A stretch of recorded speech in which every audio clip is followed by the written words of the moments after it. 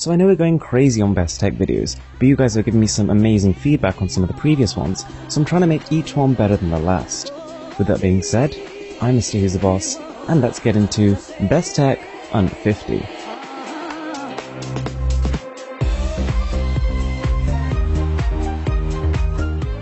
Number 1 is the wireless keyboard by Gamoil. Now $40 is a lot to pay for a keyboard, but it's built really well. We've got an aluminium finish all the way around. It feels and looks just like an Apple one. And the best bit is we've got LEDs, 7 colours to be precise. The feel to actually type on is really tactile. It feels far better than the one on my MacBook Pro, which is surprising considering it's basically an imitation. The only thing I would say is that the enter key is just a tiny bit too small. I kept missing it. What's a bit weird is that about 20 minutes after buying this keyboard, the listing disappeared, so the one I've linked below is slightly different, but it's got exactly the same spec. Next up we have Sugru, and this one caught me by surprise. For $20 you get 8 packs of this squidgy little substance, and what it does is it turns into rubber. So Sugru is stored in little airtight bags, and 30 minutes after taking it out it transforms from something more like a Blu Tack to something more like a pencil eraser. So you can use it to insulate wires, you can use it to repair ceramic, I thought it was really cool and it works just as described. For example, my MacBook cable currently has a bit of a tear in it, and I did try filling it with some plastic which helped it somewhat, but putting this over the top has completely insulated it again. Next up is something really exciting. This is a 3D printing pen, and this is as cheap as they've ever been. We found one here for $35. It works through the mains, and as soon as you plug it in, the temperature starts going up, and when it hits 240 degrees, you can feed in the plastic that comes with it and it just comes out the other side melted. And it's amazing to watch. You can draw structures in the air because pretty much one second after leaving the end of the nozzle, the plastic is hard.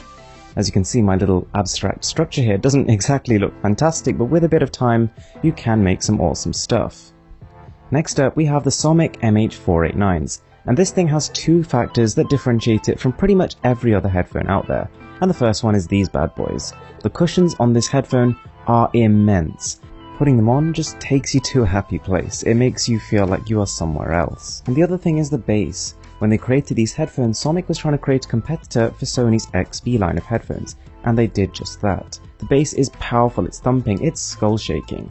Unfortunately, these aren't the most detailed and they don't have a removable cable, but nonetheless for the price you pay, it's still a solid buy. So the fifth item is the OttLite desk lamp. Now before this purchase, I'd never heard of this company, but I mean it works well, so it doesn't bother me. Now, it's a desk lamp, and $50 is a lot to pay for something like this, but it works well. It's got three brightness settings, the build is fantastic, but also it's got this unusual little orb at the bottom, which can output 16 million different colors. So this thing also doubles as a mood light. The base is not exactly the brightest thing out there. In a well lit room, you won't be able to see it that well, but going into nighttime, I actually found it a really good thing to sleep next to. So then, at a sliver under $50, we've got this boombox style speaker from Easy SMX.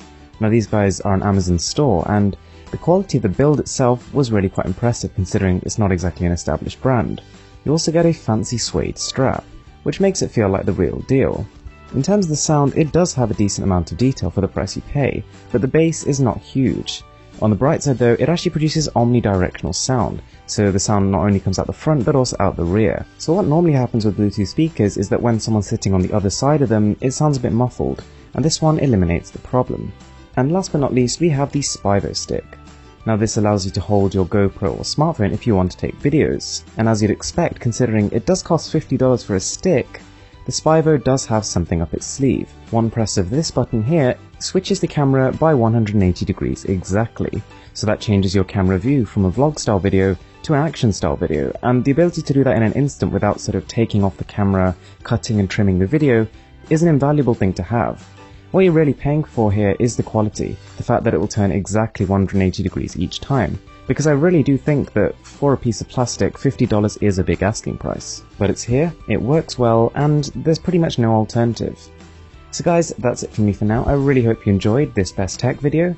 If you did, make sure you hit that subscribe button because there's some seriously, seriously cool stuff coming. With that being said, I'm Mr. Who's the Boss, and I'm signing out.